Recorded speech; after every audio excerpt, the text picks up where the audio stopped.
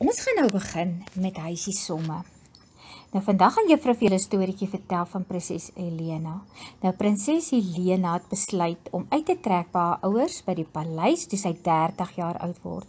Sy het toe besluit om vir haar 'n pragtige hotel te gaan bou. Dit was verskriklik mooi en op elke verdieping was daar 9 kamers en waar daar 9 gaste kon bly. Kom ons help vir prinses Helena om te sorg dat daar op elke verdieping net 9 gaste kan bly.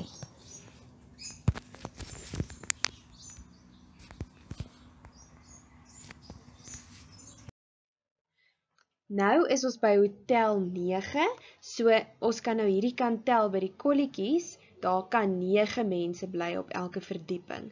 Nou sien julle hier bly al klaar een gas.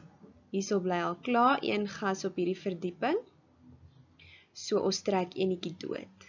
Dan tel jy verder, hoeveel bly daar nog oor? Daar bly nog 1 2 3 4 5 6 7 8. So daar kan nog 8 gaste bly op hierdie verdieping.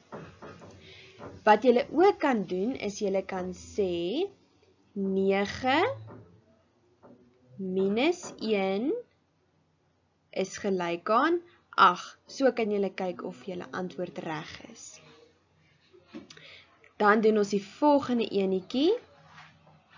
Hierso bly al klaar 3 gaste op hierdie verdieping. So jy vat 3 trek jy dood en dan tel jy nou hoeveel bly oor. So nou tel ons 1 2 3 4 5 6. So daar kan nog 6 gaste bly op hierdie verdieping.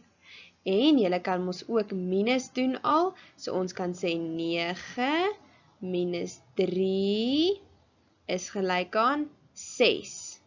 So dan sien jy so dat jou antwoord reg is.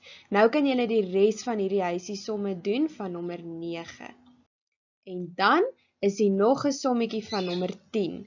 Nou moet julle onthou jy kan 10 gaste bly op elke verdieping. So nou gaan jy eerste, gaan jy kyk, daar is al klaar een gas en dan trek jy enetjie dood.